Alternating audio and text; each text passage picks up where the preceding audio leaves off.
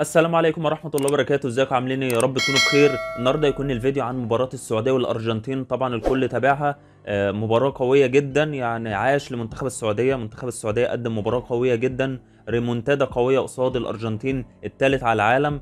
آه، يعني كانت المباراة زي ما أنتم شفتوا. ميسي جاله ضربة جزاء من كرة أنا شايف إنها يعني ملهاش لازمة من لاعب السعودية إن شد لاعب الأرجنتين. آه، ضربة جزاء في الدقيقة 10 ليونيل ميسي حطها على يمين آه، الحارس محمد العويس طبعا اللي خد رجل المباراة محمد العويس. آه، ده الهدف الأول لمنتخب الأرجنتين. بعدها لو لاحظتوا في المباراة تسللات غريبة يعني آه، بتوع الأرجنتين بيقعوا في التسللات كتير. بس ده بذكاء مدرب آه، السعودية هيرفي رينارد. آه، خلى المدافعين زي ما أنتوا شفتوا في الماتش حاطط اللعيبة كلها على خط واحد وقريبين من نص الملعب.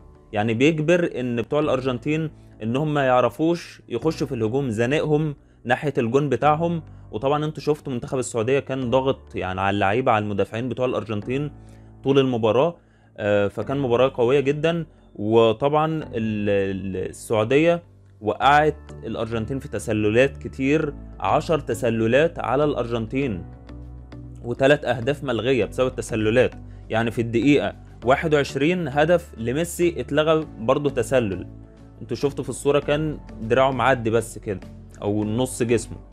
آه، بعديها 27 الدقيقة 27 كان لوتارو مارتينيز برضه الهدف اتلغى. وفي الدقيقة 35 برضه لوتارو مارتينيز آه، برضه الهدف بتاعه اتلغى. يعني ثلاث أهداف اتلغوا في الشوط الأول وكان هما آه، سبع تسللات في الشوط الأول آه، الأرجنتين وقعوا فيهم في في المصيدة اللي كانوا عاملينها المنتخب السعودي.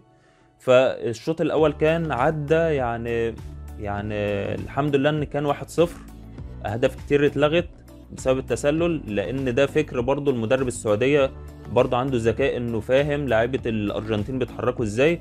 وكان في آخر الشوط الأول آه، اتصاب اللاعب سلمان الفرج آه، قائد المنتخب السعودي. في الشوط الثاني بقى كان الريمونتادا القوية للمنتخب السعودية في بداية الشوط الثاني. في الدقيقة 48 آه، صالح الشهري سجل الهدف الأول لمنتخب السعودية وهدف التعادل للمنتخب السعودي في المباراة. فالمباراة دلوقتي واحد واحد فالمباراة كانت يعني خلاص اتعادلوا. يعني قلنا خلاص الحمد لله السعودية تتعادل وكفاية كده خلاص نقطة يعني ناخد نقطة بس من قصاد الأرجنتين. حلو قوي. لا منتخب السعودية كمان جابوا الجون الثاني في الدقيقة 53 عن طريق سالم الدوسري بهدف عالمي.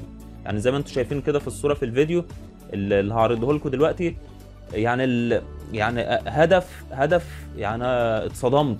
هدف عالمي هدف عالمي. سالم الدوسري ده خسارة خسارة إنه ما يحترفش. خسارة والله. يعني في لعيبة محترفين خسارة إنهم يحترفوا وده سالم الدوسري ده اللي يحترف ده اللي يستحق إنه يحترف.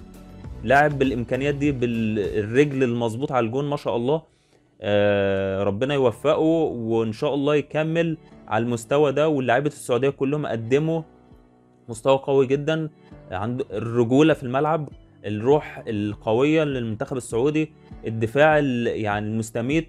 طبعا أنتوا شفتوا كان ال- الكرات كانت بتتلعب قصاد الجون كان طبعا اللعيبة الزحلقة واللعيبة يعني نشاط. اللعيبة يعني مش اللي هم ريحوا في الماتش. لا اللعيبة الآخر يعني آخر ثانية في المباراة اللعيبة واقفة على رجليها ما شاء الله ومستحملين. بس كان آه، طبعا لاعب السعودية اللي اتصاب آه، برضو كان في تدخل مع مع الحارس محمد العويس تدخل قوي فاتصاب فألف سلام عليه ويرجع إن شاء الله كده. بس هي إصابة ممكن تبقى طويلة شوية. لانها تدخل كان صعب. تدخل بركبه ركبة الحارس دخلت في يعني في وش آه، لاعب السعودية. وكانت التسديدات كلها في المباراة كانت يعني 15 كورة لمنتخب الأرجنتين وثلاث كرات للسعودية. يعني شايفين دقة اللعب.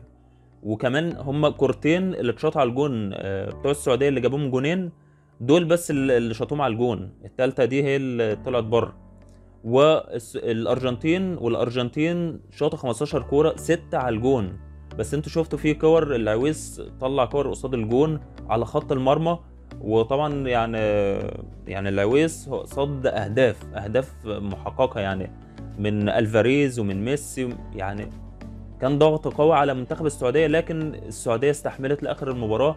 وطبعا كان الوقت الضايع بيبقى كتير زي ما أنتم عارفين النظام الجديد في ال- الوقت البدل ضايع. فالوقت كان كتير. في الشوط الأول خمس دقائق والشوط الثاني كان 8 دقائق لكن الإصابة اللي كانت اللاعب السعودية الإصابة الخطيرة بتاعته آه، الوقت كان زاد عن 8 دقائق لعبوا لحد الدقيقة 13 وشوية كمان. فالسعودية استحملوا استحملوا وقت صعب جدا. الأرجنتين كانت ضاغطة بقوة علشان تقدر تحرز الهدف التعادل لكن السعودية لحد آخر ثانية قدروا إنهم يدافعوا عن الثلاث نقط. طبعا ثلاث نقط من بق الأسد بمعنى الكلمة. فبالتوفيق لمنتخب السعودية في ماتش بولندا وفي ماتش المكسيك وإن شاء الله ياخدوا التسعة نقط من الثلاث مباريات دول. يعني أول ثلاث نقط هم خدوهم من الأرجنتين اللي هي اللي كان آه، يعني كله قلقان منها. فإن شاء الله بولندا كمان السعودية تقدر إنها تاخد ثلاث نقط من بولندا ومن المكسيك كمان. لأن لو لو كملوا على المستوى ده السعودية تقدر إنها تتأهل من دور المجموعات. لو لعبوا على المستوى ده لأن مستوى مستوى قوي جدا مستوى قوي جدا. يعني يعني أنتوا شفتوا كان قطر أنا افتكرت يعني مثلا هيكون المنتخبات العربية لعبها واحد لكن المنتخب السعودي لا مستوى غير مستوى غير مستوى عالمي. وكمان اللعيبة أنتوا ملاحظين إنها مش محترفة. يعني إحنا لما نتكلم عن مثلا الأرجنتين منتخب كله نجوم. السعودية نجوم لكن نجوم الدوري السعودي. فيعني حاجة كويسة جدا. والمدرب طبعا مدرب السعودية هيرفي رينارد آه، يعني عامل شغل كويس جدا. دفاع وهجوم يعني ظابط الفريق ما شاء الله ومخلي اللعيبة عندها روح في الملعب مموتين نفسهم في الملعب آه، علشان يقدروا يكسبوا وغلبوا يعني ثالث على العالم الأرجنتين الثالث على العالم. فدي حاجة مش سهلة إنك تغلب الأرجنتين. فده كان فيديو النهارده ويعني مبروك للسعودية ويعني أنا الواحد فرحان فرحة يعني ما تتوصفش.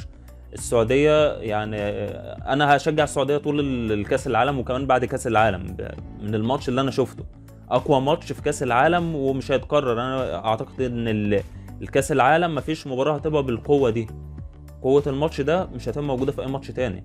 يعني إنجلترا لما غلبت إيران 6 2 ده ما كانش فيه قوة بالنسبة لماتش الأرجنتين. ماتش قطر كان قطر مستوى سيء جدا لكن السعودية هي اللي فيها الأمل إن شاء الله وإن شاء الله تونس كمان آه يعني ترفع راسنا كمان والمغرب. فالسعودية ألف مبروك ألف مبروك يعني من جوه قلبي. فبالتوفيق إن شاء الله كده ودايما رافعين راسنا. فده كان فيديو النهارده عن فوز السعودية على الأرجنتين بنتيجة 2-1 الريمونتادا القويه ويا رب الفيديو يكون عجبكم. ما تنسوش بقى ال like وال share و subscribe للقناه وتفعلوا زر التنبيهات علشان يوصل لكم كل جديد. والسلام عليكم ورحمة الله وبركاته.